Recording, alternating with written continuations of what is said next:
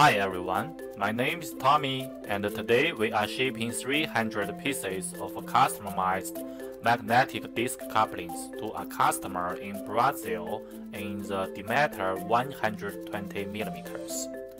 Magnetic disc couplings offer a non-contact transfer of torque by driving one magnetic hub.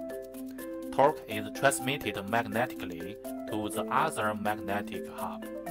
This can be done through the air or through a non-magnetic containment barrier such as stainless steel or fiberglass, allowing complete isolation of the left magnetic hub from the right magnetic hub.